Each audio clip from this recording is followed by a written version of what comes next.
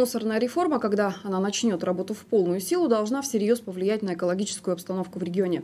Не менее важно заниматься просвещением людей на данную тему. Кстати, уже 12 мая жители региона смогут проверить свои знания о Байкале. В Иркутской области пройдет первый байкальский экологический диктант.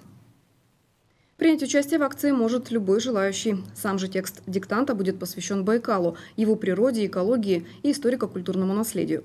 Работу участников оценят по таким категориям, как орфография, пунктуация, знания фактов о Байкале. Отдельный приз организаторы предусмотрели для обладателя самого красивого и разборчивого почерка. Старт мероприятия запланирован в 3 часа дня 12 мая. Продолжительность диктанта составит 60 минут. Список мест, где пройдет акция, появится в интернете 26 апреля.